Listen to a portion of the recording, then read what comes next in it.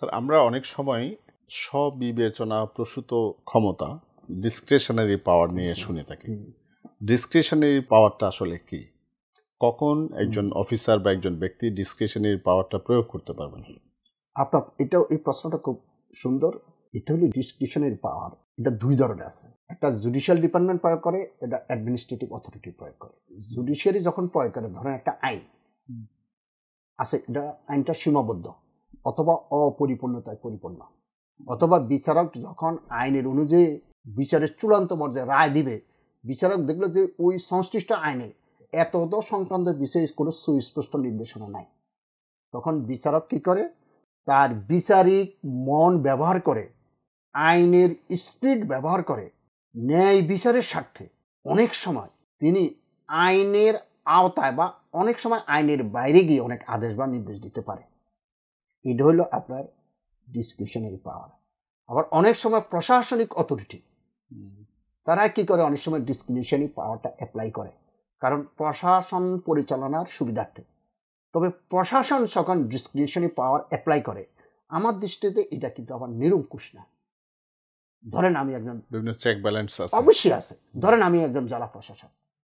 আমি কিন্তু জেলা পর্যায়ে অস্ত্রের লাইসেন্স দেওয়ার সর্বোচ্চ অথরিটি আমাকে সরকার বলে দিয়েছে এই এই মেথড এ এই প্রসিডিউর এ এই ক্রাইটেরিয়া প্রয়োগ করে লাইসেন্স দেব।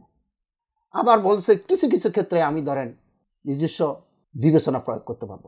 তাই বলে আমি আমার ভাগিনারে অস্ত্র লাইসেন্স দিয়ে দিব না। আমার ওয়াইফকে একটা দিয়ে দিব আমার ভাগিনারে একটা দিয়ে দিব আমার শালারে একটা দিয়ে দিব আমার সমিন্দিরে একটা দিয়ে দিব তা হবে না। অর্থাৎ ডিসক্রিপশনের পাওয়ারটা আবার আরবিটারি হতে পারবে না। এটা সরাসরি হতে পারবে না। এটা হলো প্রশাসনিক সুবিধার্থে অনেক সময় এটা করতে হয়। আর বিচার বিভাগ যেটা করে সেটা তো আমি বলেই দিছি, সময়ের পরিবর্তনের সাথে সাথে অনেক সময় আইনে যদি সীমাবদ্ধতা থাকে বা আইনে যদি কোনো অপরিপূর্ণতা থাকে বা আইনে যদি কোনো সুস্পষ্ট, অপরাধের সুস্পষ্ট কোনো শাস্তির কথা না থাকে, তখন বিচারক, ন্যায় বিচারের সাথে তার বিচারিক মন প্রয়োগ করে অনেক সময় বিবেক অ্যাপ্লাই করে, অনেক সময় অতিরিক্ত আইনের বাইরে গিয়ে অতিরিক্ত কোনো আদেশ বা নির্দেশ দিতে কিন্তু সেটাও আপনি বলছেন আইনের নিরিখে মানে আইনের স্পিরিট arbitrary হতে পারবে না। Arbitrary হতে বিচারিক মাইন্ড ক্ষেত্রে দুটি ক্ষেত্রেই। দুটি ক্ষেত্রে বিচারিক মাইন্ড অ্যাপ্লাই করতে হবে। আর আচ্ছা। ওখানে আপনার প্রশাসনিক মাইন্ড অ্যাপ্লাই করতে হবে। আমি আমার শালারে অস্ত্র দিয়ে দিছি আমার তো এরকম ইয়ে আছে। আমি ওই অল্টারনেটিভ থেকে সুইটেবল অল্টারনেটিভ আমাকে বাই করতে ইয়েস আমি অপেক্ষাকৃত। অপেক্ষাকৃত। রেশনাল হইতে হবে। লজিক্যাল হইতে হবে। এবং কল্যাণধর্মী হইতে হবে। এবং কেন এই পাওয়ারটা আমি এক্সারসাইজ করব? হ্যাঁ। এটার আপনি যেটা বললেন লিগাল বা প্রশাসনিক যে দিক অ্যাসপেক্ট লিগাল দিক প্রশাসনিক ইভেন কি ইথিক্যাল দিক এথিক্যাল দিক। ইথিক্যাল দিক থেকে আমাকে দেখতে হবে। আরবিটারি হতে পারবে না সরাসরি হতে পারবে না।